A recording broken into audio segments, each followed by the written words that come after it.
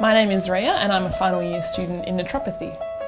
The course is really good because it structures you well to go out and interact with people and I think a lot of the importance of naturopathy is building that therapeutic relationship and being able to have that back and forth with your patient. I think that's half of the magic of naturopathy. Being able to have somebody in front of you that's real, all of their symptoms are real, they need real help and real treatment and being able to watch how they progress through your treatment is really rewarding.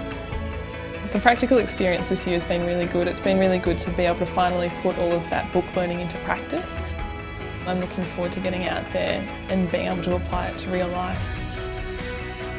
To be able to actually see why we've done this course, to actually be able to reap the rewards with patients and seeing it in the flesh in front of you has been really rewarding.